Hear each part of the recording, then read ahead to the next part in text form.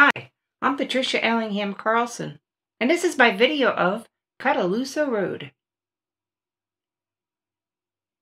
This is a multi-step project in which I use different progressions of drawing, masking, painting, adding dry pigment, and then more painting.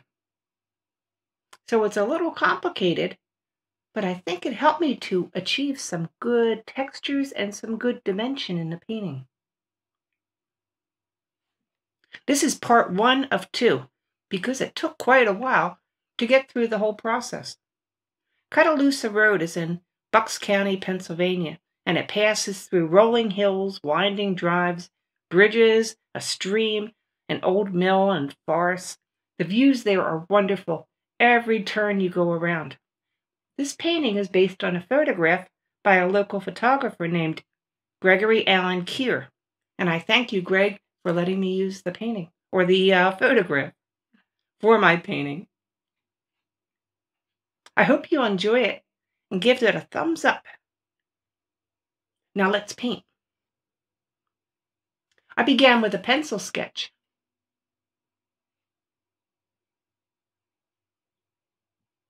The photograph I was looking at was beautifully composed, laid out just perfectly by the photographer.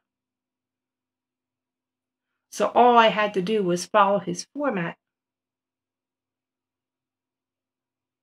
Sketch in the road that went around a bend, the snowy hillsides on each side of the road, and the bridge down at the bottom of the road. And everything surrounded by towering trees that were partly covered from the recent snowfall.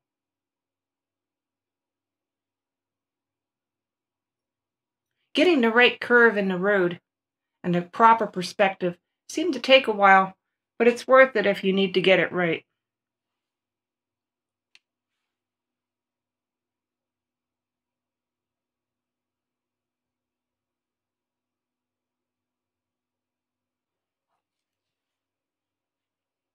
After the sketch was laid out, I pulled out my masking fluid. This happens to be Pebeo brand, which I find to be pretty adaptable for thick line or thin line using an ink pen application.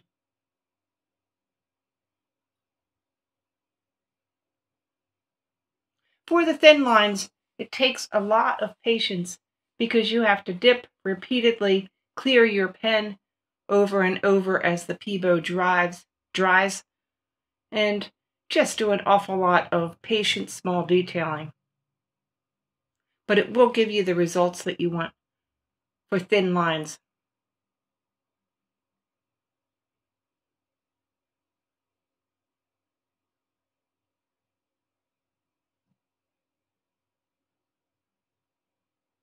My ink pen was getting a little tedious so now I'm using the end of a paintbrush and I'm dipping it repeatedly into the Pebeo bottle and drawing the line out in that manner.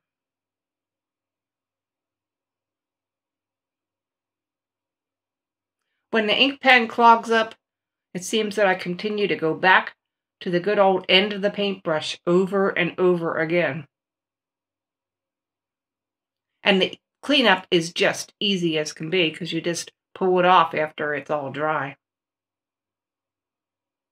I'm putting down the masking fluid wherever I want to have strong highlights on the snow and on the trees, as well as on the road. So I'm planning ahead for this aspect. Now at this point the masking fluid has dried, and I'm adding a first layer of paint.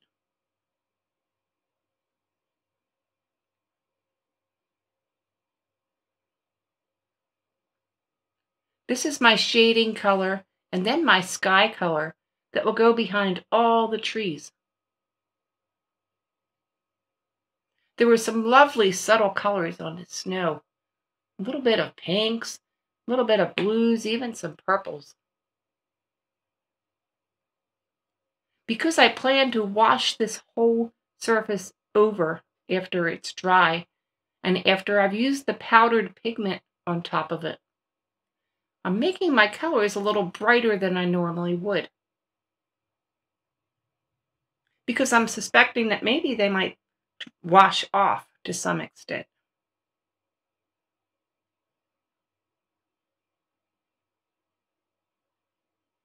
I've never done a prepared painting and then applied powdered black pigment,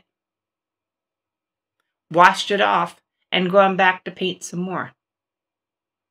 So this is an experiment for me, and I'm sort of excited about it.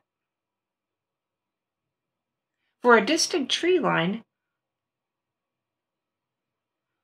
I bring the color right down to the horizon. And then I'm washing all across the sky, behind the trees, or the future trees.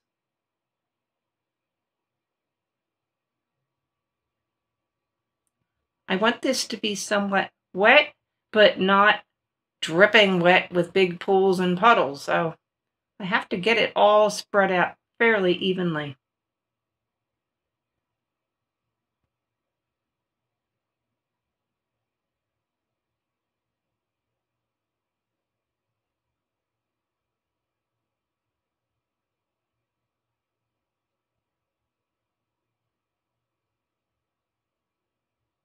The photograph I was looking at did not have such brilliant colors in the sky.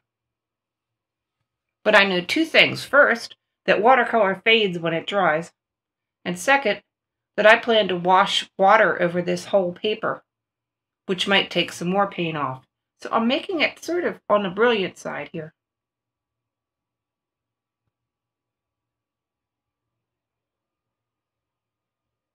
I'm using yellow, I'm using vermilion, and I'm using some permanent pink.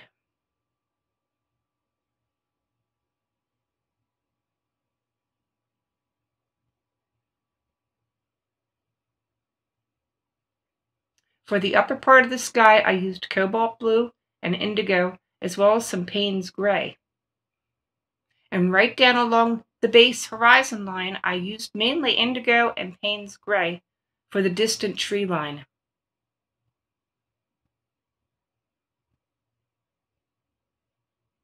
This is working wet on wet.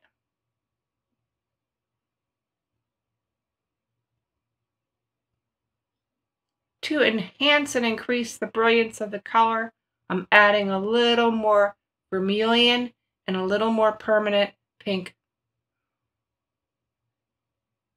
onto the sky and the road. And then I spray them lightly with some water spray to help them to blend out.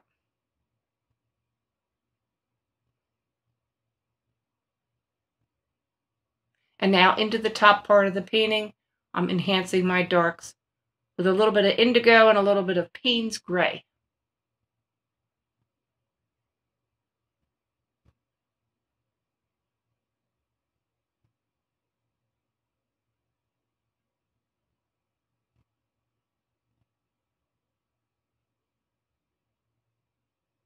I'm using my hand as a block to block the water from going where I don't want it to go.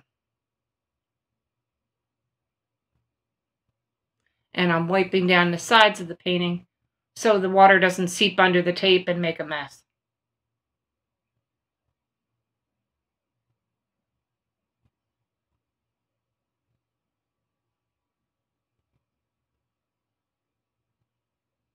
Time for it to dry completely.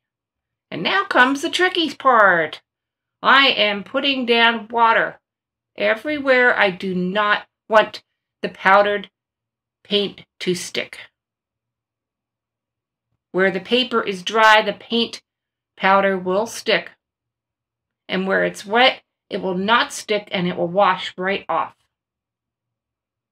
What's tricky about this is that I have to do it fast because I have to wet down the whole paper the right way before I can put on the powdered paint and take it to the sink and wash the whole thing off.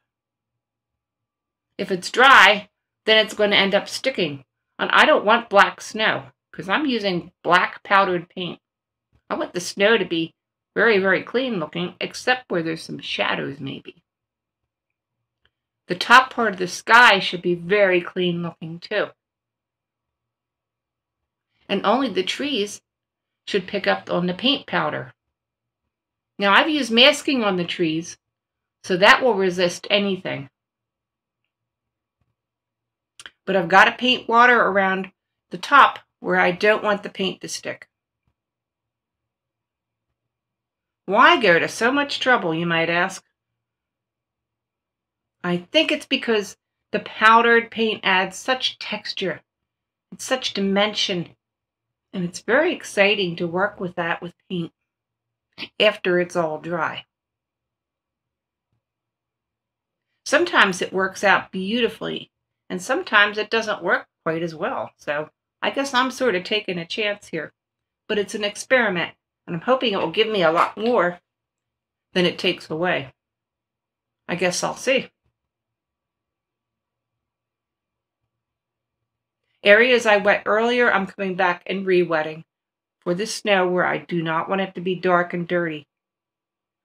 I'm hoping for the powder to stick onto the road and onto the trees. And not onto the sky where the colors should be clean, like the very top, because I can always paint a tree on top of that.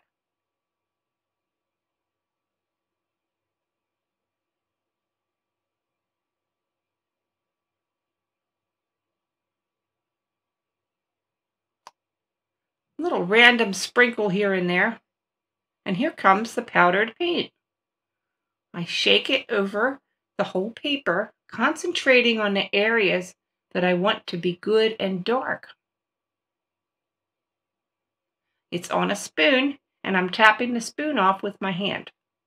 So it sort of falls in a random matter. One tree is going all the way to the top. So I made sure I put one little line there. Now I carry it quickly into my sink. And then I'm going to be pouring water over the whole painting. The water will wash away the extra paint and leave a subtle texture where it sticks. And again, the places it will stick will be where the paper was totally dry.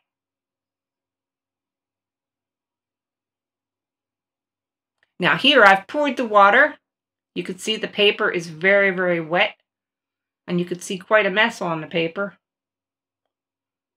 And on the tape. And I'll have to be cleaning some of that up a little bit. The way I'll do that is with a big fluffy brush, brushing over some of the areas where the paint stuck and I didn't want it to stick. That will sometimes remove it.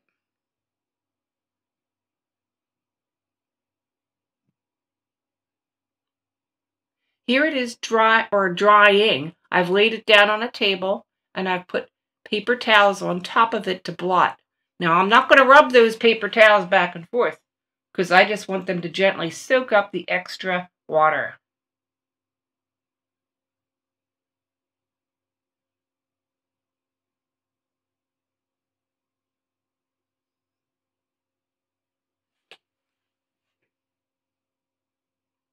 And here is how it looks.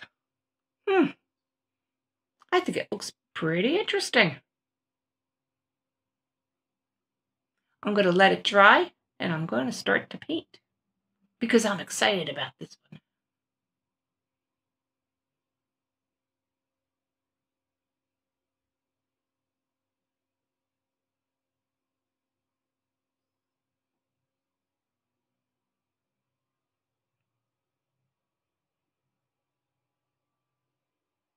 This is a small eraser. I'm using it to erase some of the masking off. I'm also using it to erase some of the powdered paint off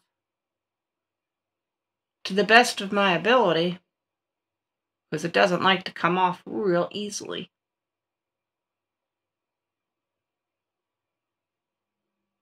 but I'm trying to clean up the whole paper.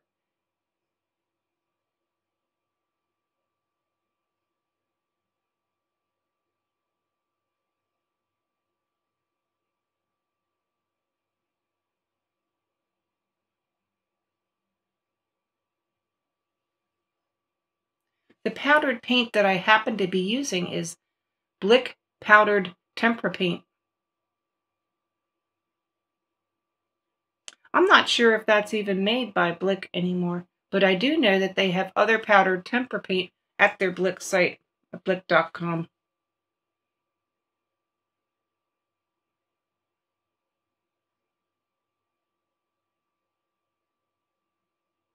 Checking out colors, and then I begin to paint onto the road to start the kind of detailing that I want. Can you see how that powdered paint has left some wonderful textures in there for me to work with? I'm not sure how well it shows up on the screen here, but it really does provide some exceptional starting capability and some extra dimension into the work. I'm forming the sides of the road. I'm forming the snowbanks and how they climb up. How some of the snow has been pushed up into a pile on the side of the road.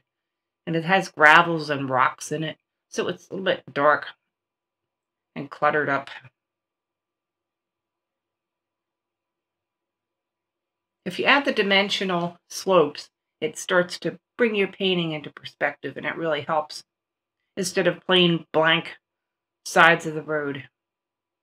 Adding some slope lines and some shadows really helps a lot. Now on the other side of the road, there's a ditch and then the slope. So it goes up and down.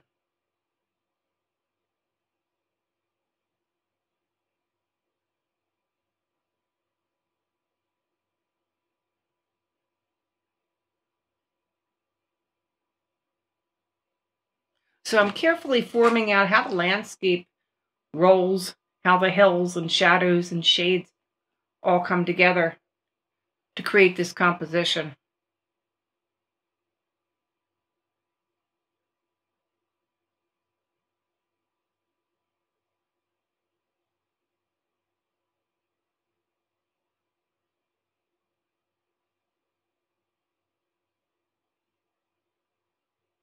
And I'm glad I have such a great reference photo to look at.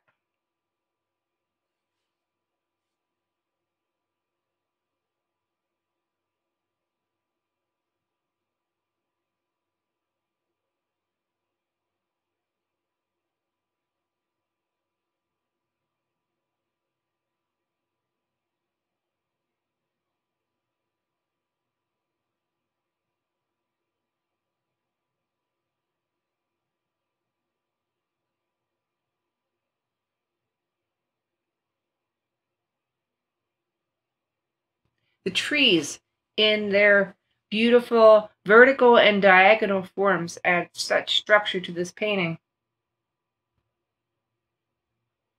Now the sides of some of them are masked because they had snow stuck all along the side from the driving snows that had fallen.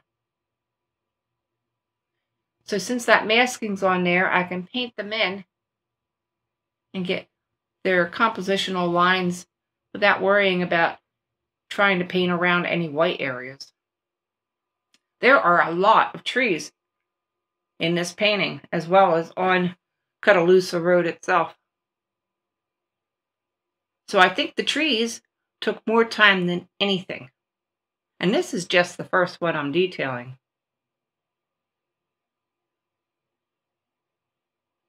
Fortunately, I like trees. So I mostly had fun doing these.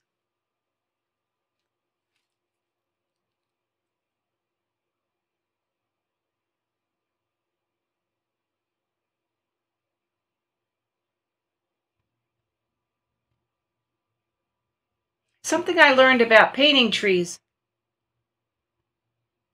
They are not symmetrical. They are not regular. If you paint the tree so it's perfectly symmetrical, it's probably going to look like a design tree and not a real natural tree. And the, the branches themselves don't just all get slapped on like sticks. They have to follow their own format.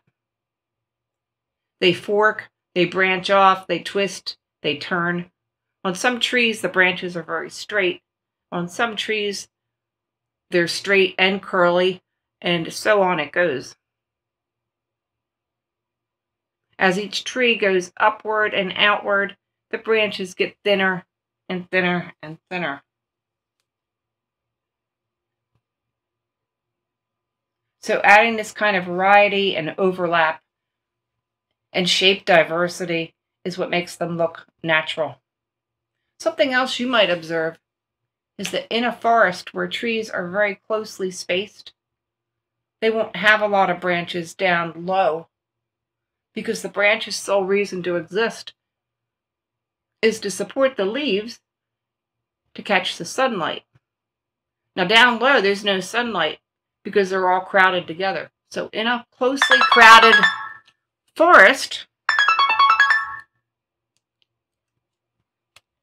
you're going to have all the branches at the top of the trees.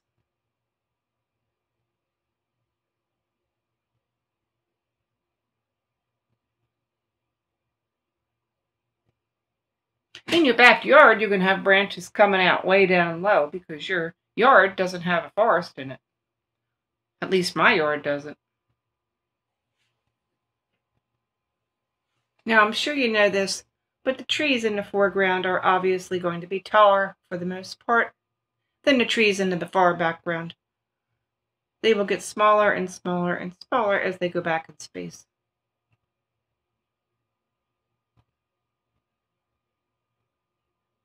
Painting these trees, I'm using a mixture, again, of indigo, sepia, and a little bit of Payne's gray. In some of the trees, I'm including purple. I'm not using black paint for this, but I did use black powdered paint for that section where I added the dry pigment.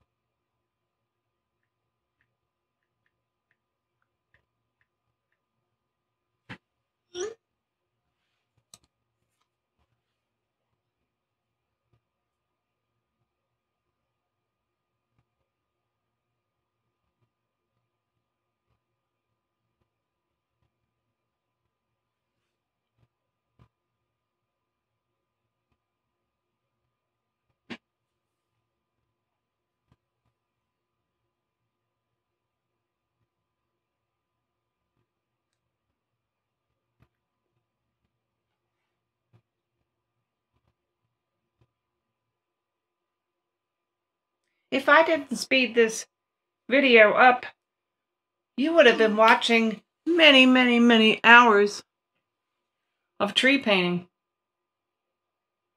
But we did speed things up a little bit.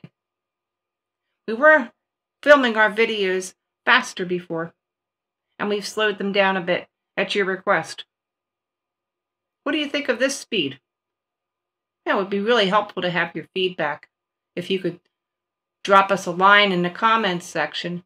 Let us know if this is a good speed for you, too slow, too fast, how we're doing. Thank you.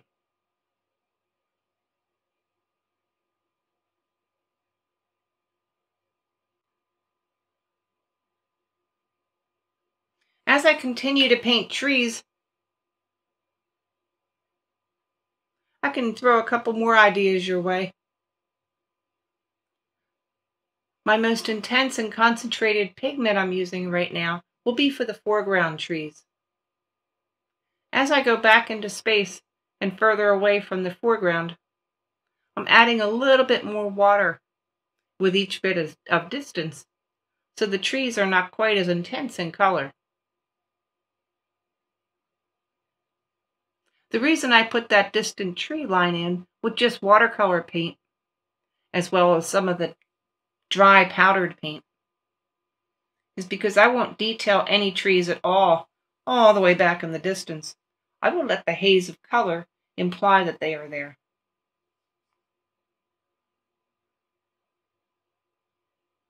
If you have a good water brush, watercolor brush, One of the greatest ways to paint trees is using that. Push down a little harder on the brush to the paper for the thick lines. And as you get outward toward the thinnest branches, pull your brush up so the tip is barely touching the paper. So with a good brush, you should be able to get thick lines, raise it a little bit, medium lines, and raise it so that just the tip is touching and get very fine lines.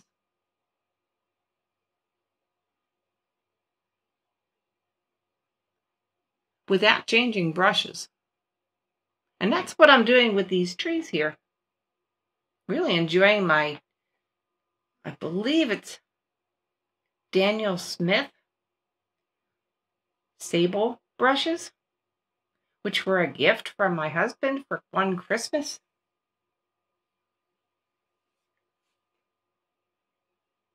And they work very well for this particular function.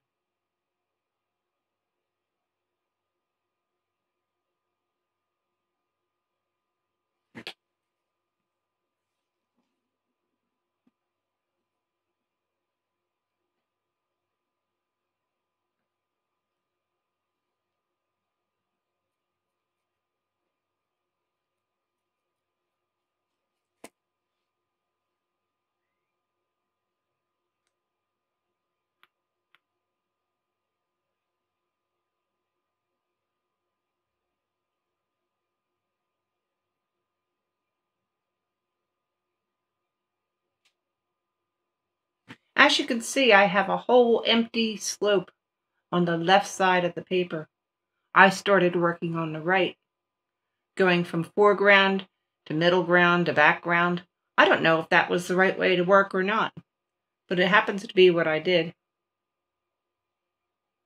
Being a left-handed person, I try to work from right to left, so I'm less likely to run into some wet paint and smear it.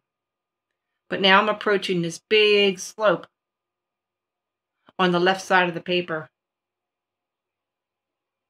There were a number of small trees growing from it, and the slope goes down to the stream. And the stream runs under the bridge, which is down at the end of the road.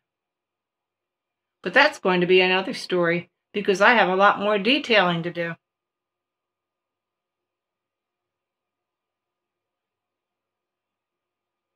Did you ever notice the trees growing on a slope have a diagonal trunk so that the longer end of the diagonal is pointing down the slope and as you go up the slope it angles inward. Take a look at a photograph sometime so you can see what I mean. But that's how I'm painting the trees that are clearly established and growing from the slope.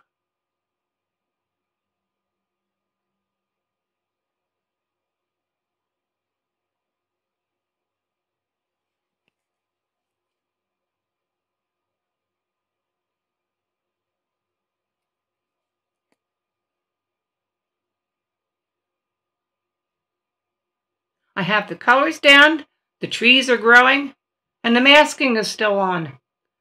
Oh boy, this is going to take a lot of work, but I'm sure having fun. Hope to see you for part two. We slowed down the speed of this video at your request. Can you drop us a line in the comments let us know how this is working for you. We're trying to help you to understand what I'm trying to show you with my painting. And if it was too fast to comprehend, that wasn't going to work. And if it was too slow, well, then that just takes forever. Your feedback would really help. I hope you enjoyed my video, part one of Cuttalossa Road. It'd be awesome if you'd give us a thumbs up and ring the bell on the links below so you won't miss any future videos if you subscribe. There's some more links below too. My Facebook art page, my blog, products I like to use, and art products I make. Thanks for watching. See you next video.